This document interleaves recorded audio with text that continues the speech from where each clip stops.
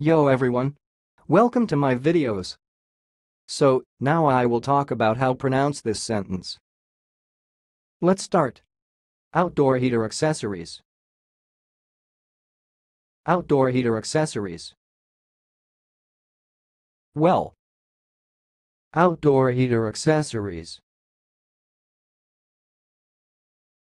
Outdoor heater accessories. That's all, thanks for listening. If you liked this video, please subscribe to my channel. If you want to share your opinion, please leave comment for this video. Thanks and goodbye.